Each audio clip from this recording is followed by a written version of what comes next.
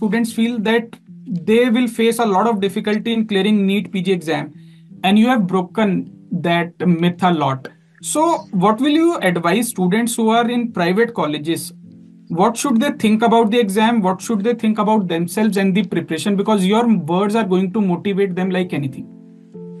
Sir, I would like to say only one thing that it's all in your mind. If you think you can, you will.